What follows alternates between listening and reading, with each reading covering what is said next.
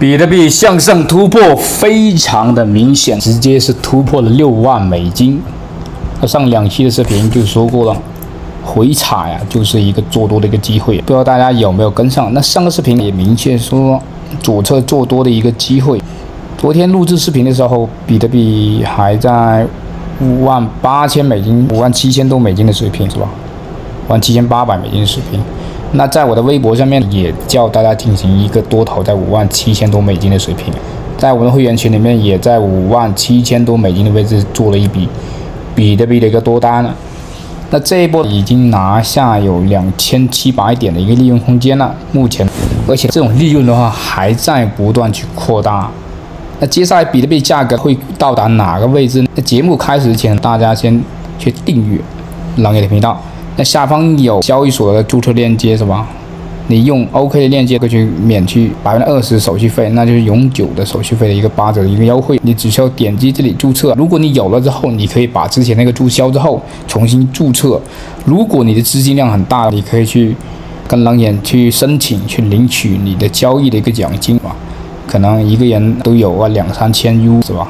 下方的话是 Bigate 的一个交易所链接，用冷眼的链接的话也是可以去享受百分之二十的一个折扣的，是吧？就是你可以免去百分之二十。那下方有免费电报群，下方有冷眼的个人联系，你可以去联系冷眼啊，去咨询一些更深入的一些东西，更深入的是吧？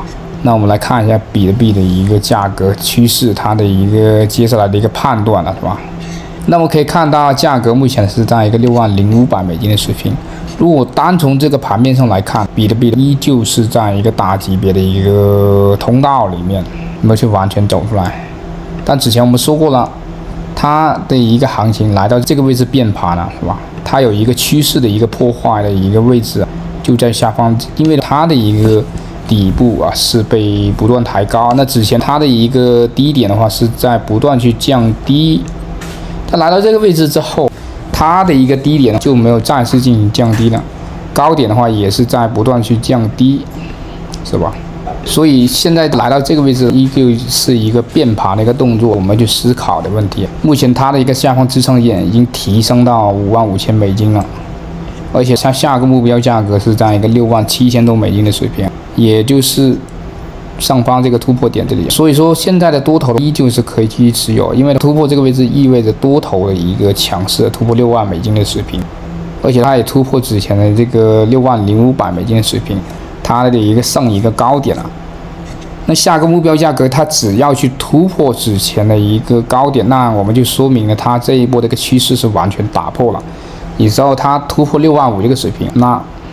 它的一个趋势破坏就完全确立，那就证明了比特币这一波的一个趋势转变是完全是可行。它的一个确立到质疑到肯定的一个过程，是吧？由量变引起质变的过程，只要我们对吧，细心去发掘比特币的一个价格走势发生什么样的变化，那么我们在过程当中，那确实是能够找到很多的一个机会去操作、去介入。那那大家可以去看到现在的一个价格，你看它的一个四小级别的，它来到这种位置，刚好是突破这个中轨中轴这个六万美金的水平。这六万美金非常关键，只要它能够站稳六万美金。那明天后天可能会上行到六万五，可的概率非常大，再出现回调，这是比较健康的一个走势。所以说现在多单，我认为能够可以去继续去持有的。大家也可以看到比特币的一个钱包余额是吧？从今年开始都一直出现一个被不断在买三十多万枚。比特币也是从这个交易所里面被提走，说明有人不断去抄底比特币。大家来看一下这个比特币 ETF，在近几天都是出现一个流出状态，而且流入的量的话是非常大的，是吧？大家很明显就可以看到它的一个变化。我们再从交易地图上面可以看到，目前是有机会能够看到六万二这个水平，七天之内也是有一个看到突破这个六万一千五百美金的水平啊。三十天之内的话，也是有一个看涨的一个趋势。那目前我是坚定的一个看多的，上方的一个六万八这个水平，可能要未来，我们来看一下多少天可能会触及到，可能未来两周时间里面，它会触及到上方的一个六万八到七万美金一个水平。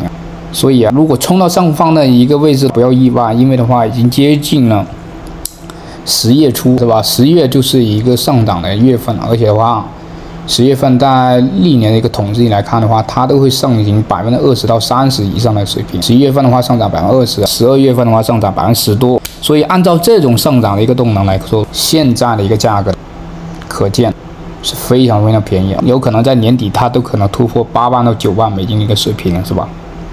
所以现在来看，很多交易是存在非常大的一个机会的。虽然说本周周五是有一个交易的痛点，那价值十四亿美元的一个比特币以太坊在周五到期，那它最大的一个痛点是比特币是在五万八，以太坊是在两千三百五十美金。所以接下来的行情这一两天依旧是看涨，但是周五可能会出现小幅度的一个波动，但是这都是非常正常的一个现象。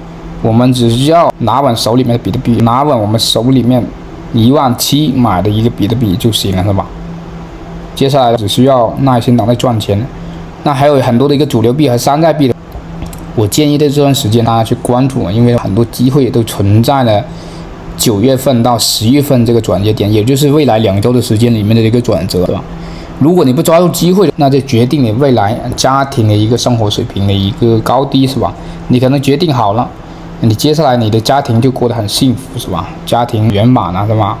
有。交通工具，不管是衣食住行，你都可以过得很好。但是你做错相反的决定，你就过得苦不堪言。因为资金是不等人的，是吧？而且还有美元不断的去放水，放水出来，那你的钱就会贬值，物价会上涨。这时候你的钱没有增长，是吧？别人的钱增长，那就变相去削弱了你的购买能力，那你就变相的被亏损了。说现在价格还在不断去上上涨，这是一个非常明显信号。现在又继续突破到一个六万零八百美金水平，一会可能会上行到六万一千五百美金以上的水平。好，今天内容的话先分享到这里，我们下期见，拜拜。